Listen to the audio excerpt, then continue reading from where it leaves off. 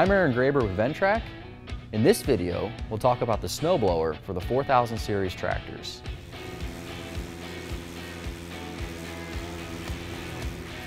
Everyone knows the power of a snowblower to dig out from deep compacted snow. This is the attachment you want to use during blizzard-like conditions or when accumulation gets too deep for any of the other attachments.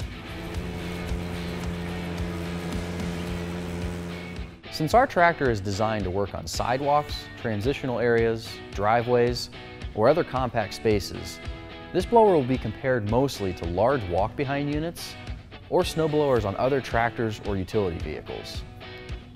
Compared to those units, this blower is much more powerful and easy to maneuver. It has a main auger diameter of 16 inches and an optional deep snow auger that has an 8 inch diameter.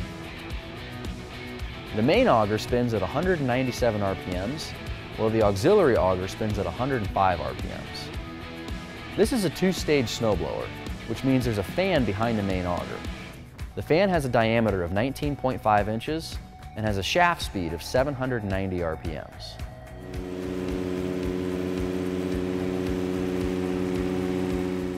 The snowblower discharge chute has the ability to be adjusted 180 degrees to point it in whatever direction you want to discharge the snow. It also has the ability to adjust the pitch of the discharge chute, either manually or automatically with an optional electronic kit.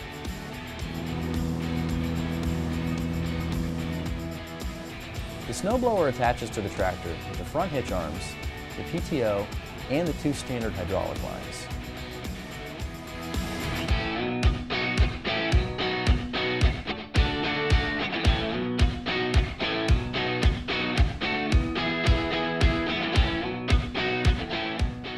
As the main cutting edge wears, you need to adjust both of these so that they stay at the proper position to support the snowblower since it'll be run in float when in operation. You can see that the front skid shoes have a slight angle to them so that they help you ride over imperfections in the sidewalk or other surfaces that you're working on.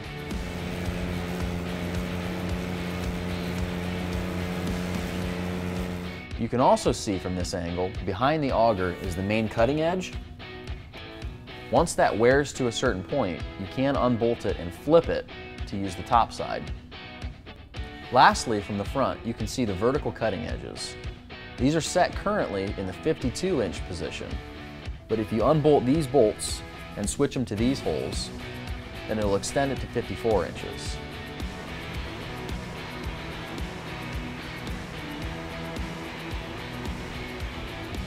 Shown here is the optional 12 volt actuator the snowblower comes standard with a steel link that has multiple holes in it so that you can select this manually, but when you add this actuator kit, you can use the buttons on the SDLA so you don't have to get out of the cab to change it. You can control the snowblower completely from the SDLA levers. During operation, you always want to have the snowblower in float,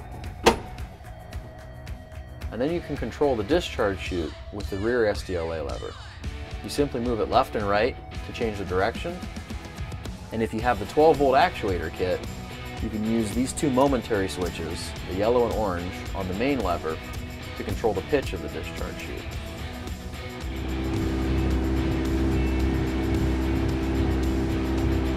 Whether you're a contractor, a school or municipality, or even a golf course, the snowblower is a must-have in cold climates.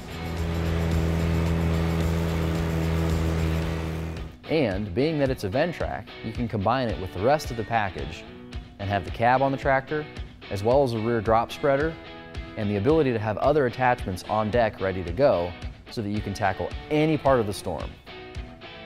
Thanks for watching this video on the Ventrac snowblower. For more information on this and other attachments, visit our website at ventrac.com or call a local dealer for a demo.